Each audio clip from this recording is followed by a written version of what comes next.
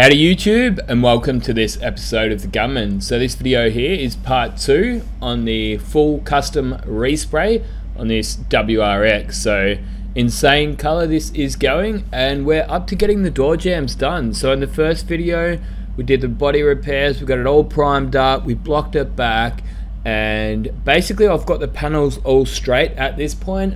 I then scuffed all the door jambs I did also get the panels sanded down with like 320 grit um, so that they're just going to need a final sand over once we get the jambs all done. So I decided to give you guys a quick look at this just to remind you that uh, before you go and spray any flakes through your primer gun, just give it a good clean out so that you don't have any chunks of primer in there. So that's why I gave it a bit of a soak in some thinners just to dislodge any um, old bits of primer so that I can give them a good brush out before I do go and put any flakes through there. So we're just going to be smashing through the job. We're not going to be hanging on any one uh, part of the procedure for too long.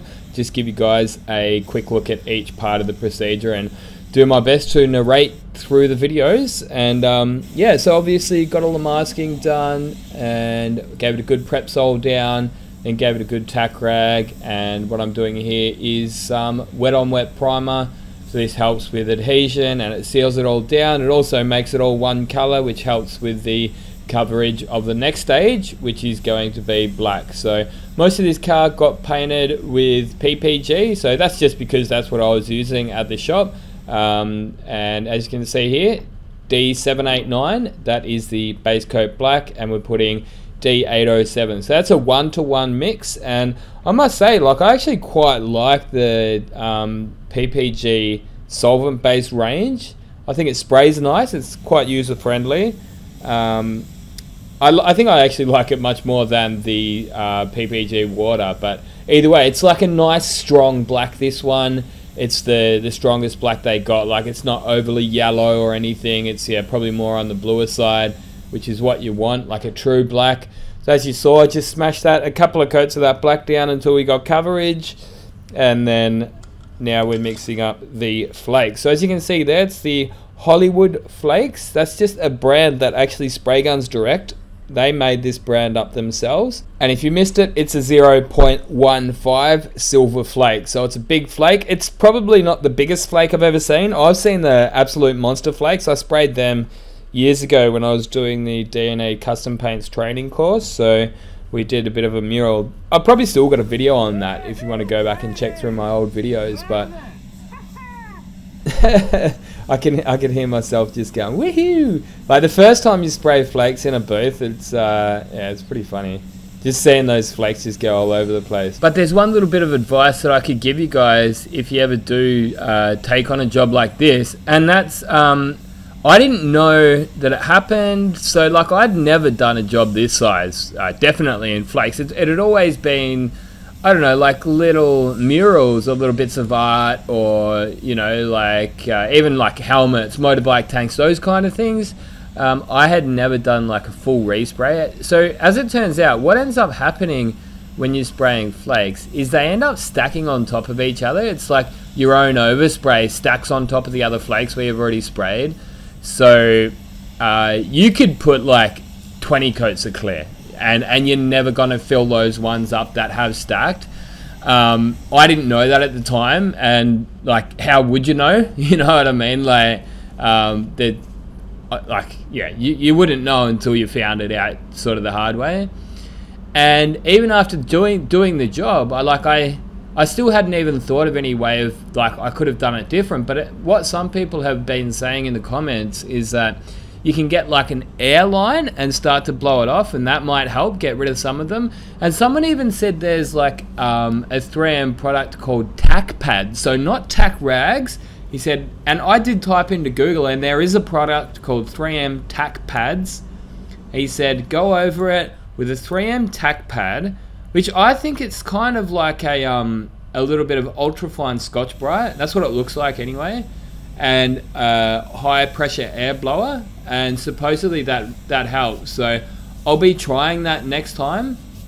Um, but yeah, so what ends up happening is when you sand it down to do your flow coat, you end up peeking through to a couple, um, it's something that for the door jambs, you could barely even notice it. Um, there's like one or two here and there. Um, when I was doing the outside, you could notice it a little bit more. Um, so all I did was just throw an extra coat of candy down, and the way I it, like that's not a bad thing to throw an extra couple of coats of candy down because one thing that I do know about candy is that it fades over time. Like uh, when you leave it out in the sun, it doesn't have a good UV resistance. Um, because from what I know, like candy is um, it's it's a dye, right? So it's not a pigment. So think about like your shirts um, and things like you know your clothes. They they have dyes in them, and and dyes don't last forever. That's why your shirts fade. Um, so especially reds, and reds actually are the worst for it. So the way I see it is having a couple of extra coats of candy is not a bad thing. You know what I mean? So the funniest thing about that is that supposedly there was a few neckbeards over on Spray Painters Australia which were like hanging it on me because I cut through to um, a couple of little silver flakes.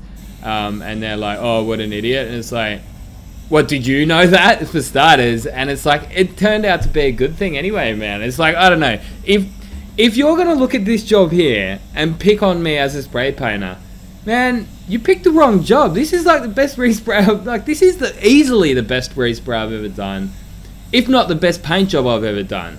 So I think you, I think you picked the wrong job to try and you know discredit me on. Like good luck, mate. Better luck next time. Um, but yeah, so as you can see there, so I actually mixed the candy with two pack clear coat. Um, and I think I did three coats because I was going at like 10% candy. So I did a couple of test panels when I painted this job, uh, before I painted this job, sorry. And I found that sort of more is better with the candy anyway. So I, I started right down low, which like the same type thing uh, from when I was doing the 46V resprays.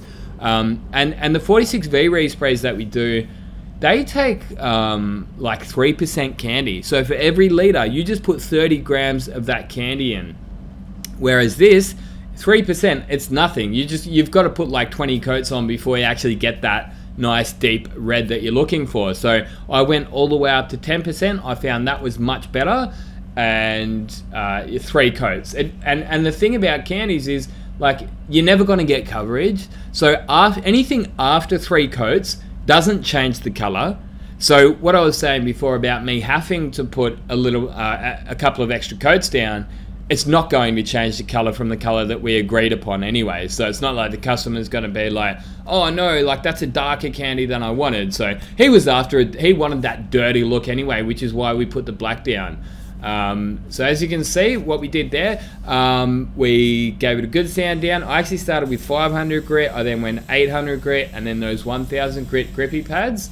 Um, but what I've been doing is in between every single coat is baking it. So um, I don't think I baked it between the wet on wet and the base coat, but yeah, uh, between every single coat of clear, I'd been giving it a 10 minute bake. I was just using standard reducer. I didn't go for fast. I don't know, I've just found that the medium reducer seems to get a touch more flow. Like you don't really get much flow at all with most of the PPG clears. I'm actually back working with Standox now and I do much prefer their clears. But the clear that you saw me spray just here for the final clear is my favorite PPG clear, which is the 105. So it's a higher gloss and it does go on a lot glassier. It, it dries nice and fast and yeah, I found that a lot better than the 136. But the 136 is nice and thick. That's why I decided to use that to fill up the flakes there. So that's it for the um, insides there. So yeah, pretty cool looking color there. You might have noticed like one or two of those little silver spots, but um, yeah, that's about it for this video, guys. Hope you have enjoyed. But yeah, as always, if you think that there's anything that I could have done better, I'm always all ears. I'm on a journey in this life. I'm trying to get better every single day as a person and as a painter.